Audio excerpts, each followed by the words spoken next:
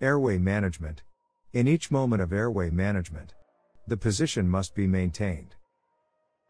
Most importantly, the sniffing position must be maintained. Put the pillow under patient's head and maintain a position to stretch his neck.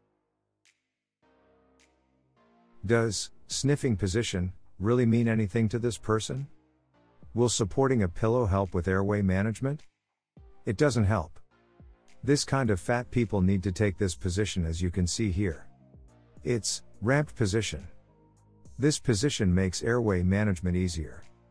Align the sternum and external auditory meatus to the same height. I make it like this and use it. The ramped position must be maintained at every moment in airway management for obese people. Thank you. I am Dr. Glacier.